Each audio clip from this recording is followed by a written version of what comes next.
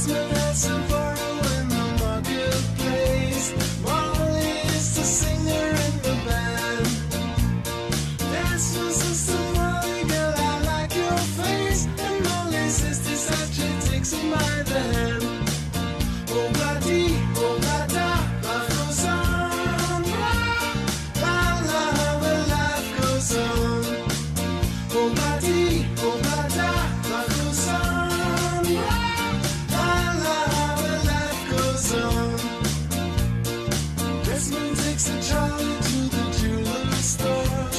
Buys a 20 carat golden ring.